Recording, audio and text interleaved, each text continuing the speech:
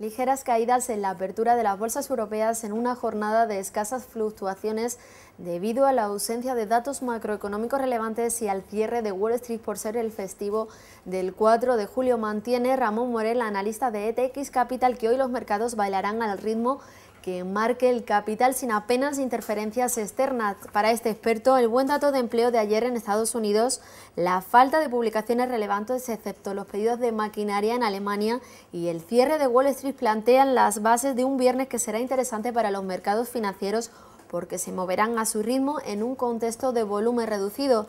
Dice, esto podría implicar una mayor volatilidad en algunos estivos, pero también la ausencia en otros. Y volviendo sobre nuestro selectivo, dice César Nuez, analista de Trader Watch, que el IBEX 35 ha conseguido cubrir el gap bajista que se dejará el pasado 25 de junio y parece que buscará continuar con las subidas hasta los máximos anuales situados en los 11.249 puntos. Para este experto, la superación de este primer nivel de resistencia nos haría pensar en la continuación de las subidas hasta el nivel de los 11.500 puntos. Por abajo, no obstante, nos advierte que debemos vigilar los 10.850 puntos soporte y mínimo del pasado lunes.